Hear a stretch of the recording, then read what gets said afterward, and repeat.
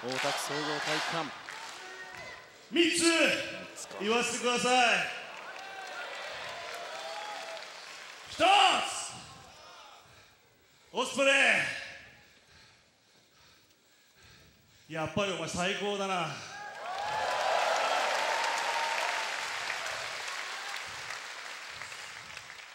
レスラーとしても大好きだし弟としてとしても大好きだよこの野郎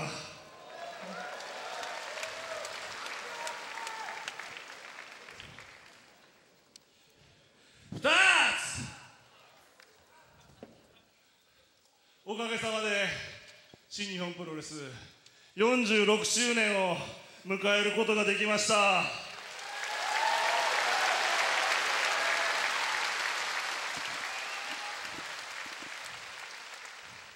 明日から47周年目が始まる。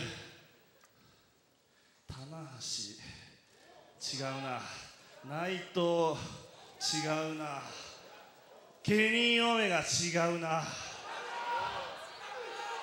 岡田和親に任せなさい。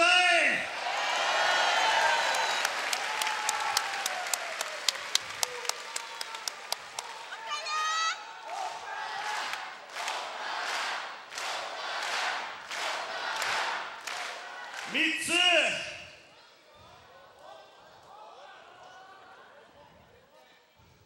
特にありません。そして今日は下道さんがいません。今日は下道さんは放送席にいらっしゃいます。こちらにいらっしゃいますよ。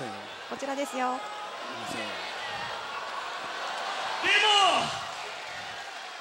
でも下道さんと俺との付き合いは46周年。今日までです。ええおっと嘘に決まってんだろました。一瞬忘れました。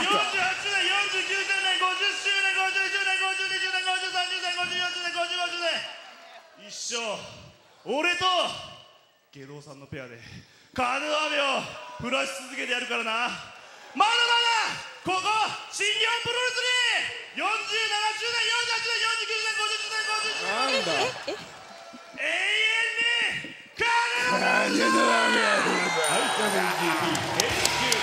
ラボ聞いた今の。コラボ聞きました。金の雨が降るぞコラボコ聞いたラボ聞きました下道さんも見事に声を合わせていきました。